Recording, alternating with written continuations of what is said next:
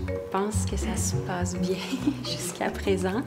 Puis, euh, ben, c'est tout du monde fin qui me met à l'aise. Fait que ça va bien. J'ai besoin de ça pour me faire prendre en photo, d'être à l'aise, de me sentir en confiance. Fait que pour l'instant, ça va bien.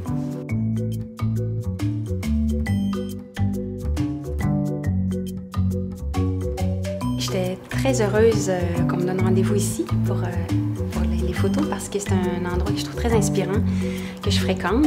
Je viens voir euh, les expos, mais je trouve le lieu très euh, impressionnant.